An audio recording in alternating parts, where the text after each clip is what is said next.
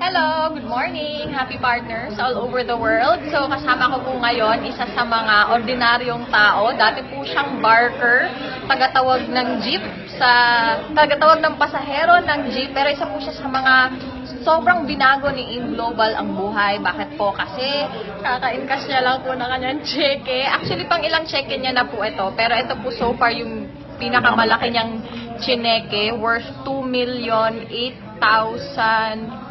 8,800 pesos lang naman po. And syempre, hindi ko na patatagalin si Upline Joey Montes. Ay, ah, good day po sa lahat ng mga kapanood po neto at anyway, thank you Tanya for inviting me para sa video mo. Actually, 7 years ago, I started to join in Global.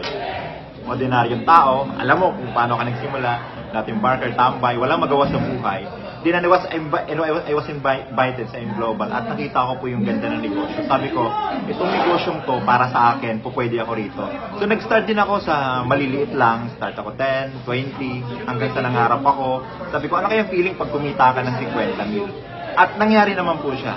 Nung na-hit ko yung 50,000, sabi ko, sana tsumeke ako ng 6 digit, which is 100,000. And then it happens. And then, way back uh, 2016, sabi ko, ano kaya ang feeling na kumita ako ng kalahating milyon? So, that month, July to be exact, I earned around 530,000. That was 2016. So, nag-goal ako, na-hit ko. And then last year, after my international travel, international network, nag-goal po ako na po ako ng nasa 1 million. And good thing kasi hindi po ako tsumeke ng 1 million. Tsumeke po ako ng nasa 1.3 million.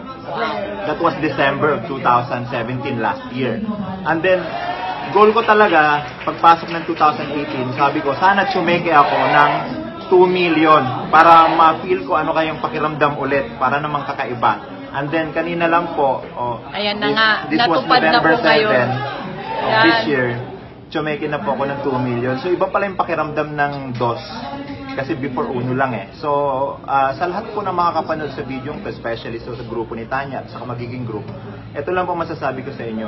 Seven years in the making, hindi din po ganun kadali.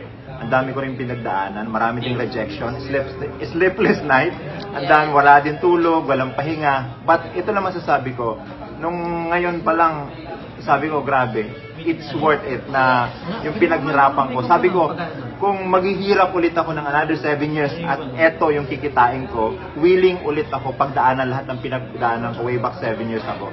At ang good news pa ko neto kasi hindi lang po ako yung kumikita, marami po ako sa mga ilalim ko na kumikita ng 100,000. Ang dami po mga grupo sa international na hindi naman natin sila kalahi but at the same time naniniwala at kumikita po sa business ng In Global. So kayo na po yung susunod nakikita ng ganito.